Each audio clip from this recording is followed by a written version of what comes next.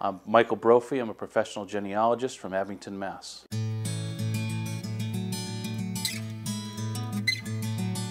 One genealogist said that genealogy is all about connecting with the family that you have by researching your ancestry back as far as you can.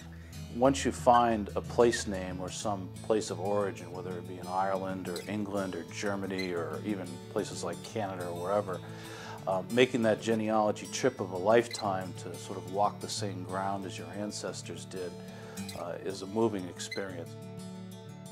I had an aunt on my uh, mother's side who passed away in 2002, and her son, my cousin, put together a really great book on her life as a way of sort of processing his, the passing of his mother.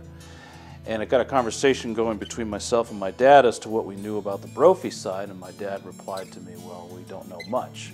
So that kind of got us going into doing the research. I did a lot of the research, um, he did the writing, and uh, a few years later I became a professional after having a fabulous experience with doing this with my dad. I'm doing lots of lecturing around the country, whether it be at festivals or national genealogical societies, that sort of thing. I'd like to expand that. I do some research for law firms and look for lost heirs to estates, um, as well as doing more and more research in Ireland.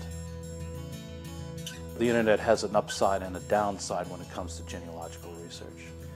The upside of that is that the internet has expanded access to anybody who has a computer uh, at home or can go to their local library and gain free access to great databases like Ancestry.com.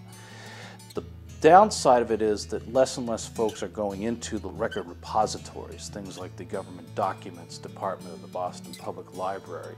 And a lot of the times it's rolling through microfilm and having you know frustrating times with it. But once you get that great find, then you know you're in a quiet library somewhere and you said, yes, this is it. I found it, and that's part of the appeal.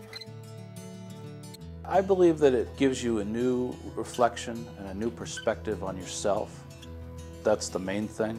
It starts conversations. It gets people talking about what's really important in life, and that's family.